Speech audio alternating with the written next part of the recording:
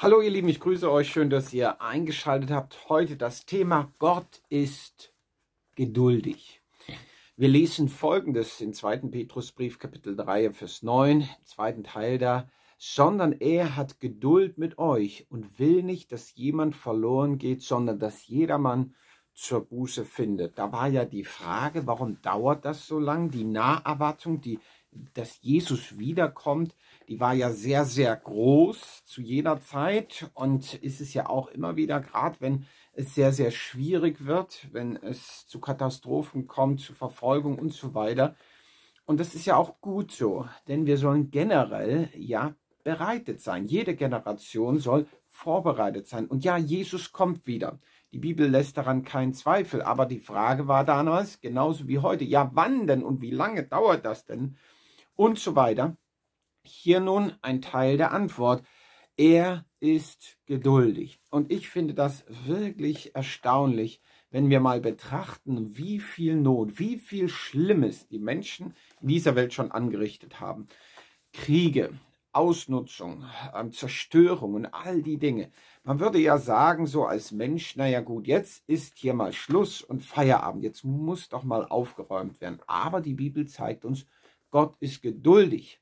Nicht, dass er jetzt sagt, naja, mir ist es eigentlich egal und er das, was dann die Bibel Gericht nennt, aufschiebt und sagt, naja, warten wir mal ab, habe gerade keine Lust dazu. Nein, sondern die Bibel sagt, aufgrund seiner großen Geduld weil er, das werden wir uns morgen anschauen, weil er Menschen retten möchte.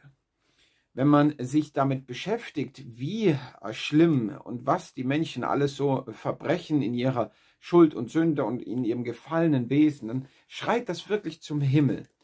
Aber Gott ist geduldig, weil er voller Gnade und Liebe ist. Und wir sehen das ja auch, wenn wir selbst Kinder großziehen oder wenn uns Menschen anvertraut sind, da kann einem ja schon mal der Hut hochgehen.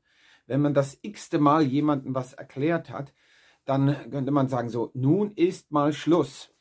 Aber wenn man Geduld hat, dann kann man abwarten und sagt, ich glaube daran, dass du lernen wirst, wenn auch sehr langsam, wenn auch sehr herausfordernd. Aber ich glaube daran, dass Dinge sich verändern werden über die Zeit, vielleicht über die Jahre geduldig sein. Und Geduld ist ja nun nicht unbedingt das, was wir Menschen so richtig dolle äh, verinnerlicht haben. Wir merken das in unserem eigenen Leben, wie schnell uns der Geduldsfaden auch reißt.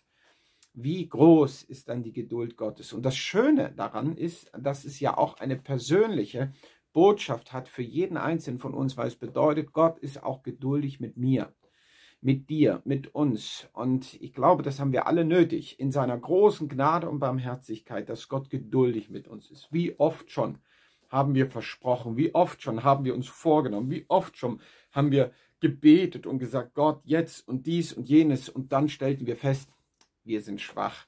Es klappt nicht, es geht nicht. Ähm, wir fallen in alte Muster zurück und so weiter.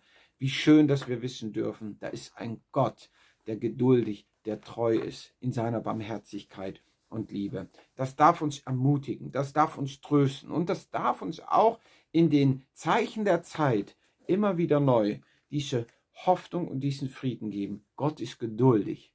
Aber irgendwann kommt der Zeitpunkt, da wird Jesus wiederkommen und darauf dürfen wir uns freuen.